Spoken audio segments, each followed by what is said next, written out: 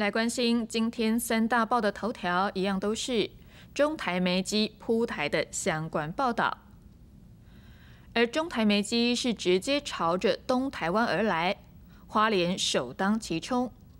为了避免山区豪大雨带来灾情，吉安乡、秀林乡等八个乡镇，昨天下午到深夜，也针对低洼地区和高风险的地区。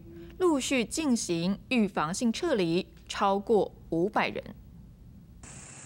警消与国军扶着居民上车。美基台风来势汹汹，花莲县吉安乡荣光社区又要撤离。这里离海边很近，加上地势低，为避免台风带来淹水、土石流等灾情，连夜撤离民众。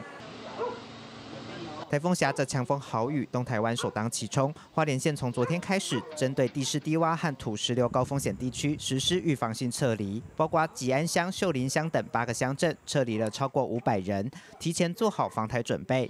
国军也出动上百兵力和车辆配合，协助行动不便的民众到安全的收容中心。气象局也针对宜兰花莲山区发布超大豪雨特报，提醒民众严加戒备。记者综合报道。